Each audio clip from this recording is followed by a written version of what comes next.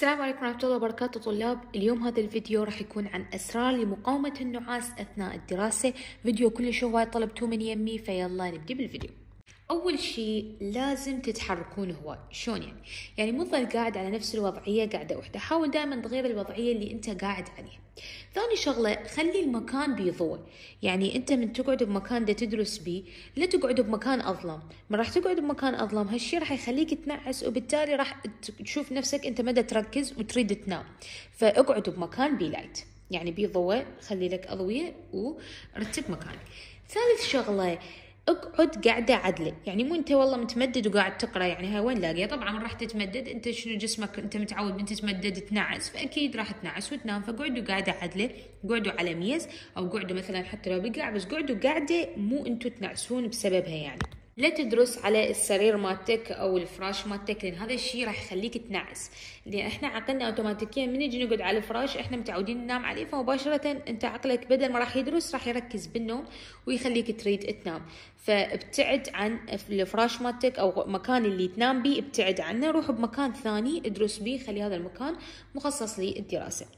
بهمنا نفس الشيء بالنسبة للمكان لا تظل بنفس المكان وقت هواي يعني مثلا أنت تقعد بهذا المكان تدرس ورا فترة شوية غير قومة من الميز روح اقعد بغرفة ثانية أو مكان ثاني يعني أو حتى لو هو المكان نفسه روح شوية هيك بصف اقعد ليش؟ حتى يعني عقلك لأن مل من هذا المكان فما راح يمل. راح يبدأ هيك يشعر بالملل وكذلك إيش راح يسوي؟ راح تبدي أنت تنعس. لأن دائما إحنا مثلا من نضوج من شيء أو نريد نهرب من شيء ننعس ونروح ننام. مو صحيح؟ شغلة كلش مهمة هو إنه لازم تبقى hydrated يعني لازم تشرب هواي مي لأن من أنت ما يعني عندك lack بالمي أنت ما شارب مي هواية يعني هذا الشيء راح يخليك تحس بالنعاس لأن دائما إحنا مثلا من نجوع أو نعطش عقلنا راح يعوض هذا الشيء يعني إنه راح ننام. لأن إحنا إحنا شنو الاحتياجات مالتنا؟ كبشر الأكل والشرب ونوم فمن وحدة من الحاجات يعني تنقص أكيد راح نعوض بالحاجة الثانية. شايفين إحنا لهالسبب رمضان ننام هواي. لأن إحنا يعني نقص عندنا بالمي والأكل فهذا راح نعوض بالنوم حتى جسمنا يرتاح ويصير عندنا طاقة كافية حتى نمشي باليوم. فحاولوا أنه تاكلون أكل زين وحاولوا أن يكون صحي يعني مو كلش مو زين يعني مو كله دهون وأمور مو زينة. يعني أنتم دا تحاولون تركزون دا تحاولون تصير عندكم طاقة. لأن الأكل يعطينا طاقة حتى نقدر أنه ندرس حتى نقدر أنه نسوي الفعاليات الحيوية اللي نسويها باليوم العادي يعني. فحاولوا أن يكون الأكل صحي. مو شرط كله صحي على الأقل اكلكم فد يعني يذكر فد ينشط. مثلا يعني أكلوا زبيب أكلوا فواكه أكلوا أشياء إنه تساعد إنه تدرس أحسن. هذا الشيء إذا ممكن تسويه أو إذا ما ممكن تقدر أنت تعوضه بنفسك. يا أما تدرس وحدك.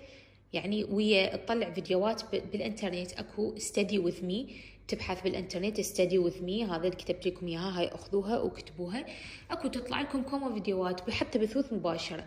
هاي هنا تخلوه شخص دا يدرس وياكم تحسون أكو شخص يدرس وياكم تحسون راح تنجبرون وتدرسون وتدرسون فعلا. هم يسوون study sessions يعني آه هيك مال دراسة يعني مثلا 50 دقيقة تدرس خمس دقائق تستراح ويسووا لك واهس يعني.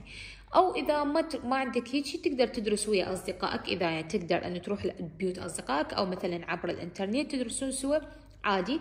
بس يعني أنا صراحة إنه الدراسة ويا الأصدقاء مو كلش أشجع عليها لأن دائما يصير تسخيت بها. يعني تظلون تسولفون تضحكون وكذا.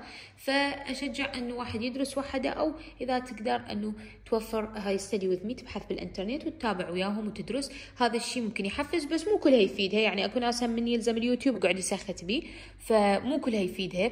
أنت إذا تشوف نفسك أنت تقدر تسيطر على نفسك إن ما تسخت باليوتيوب وتدرس وياهم إذا نسويها بس إذا ما تسيطر لا ابعد اليوتيوب وادرس وحدك.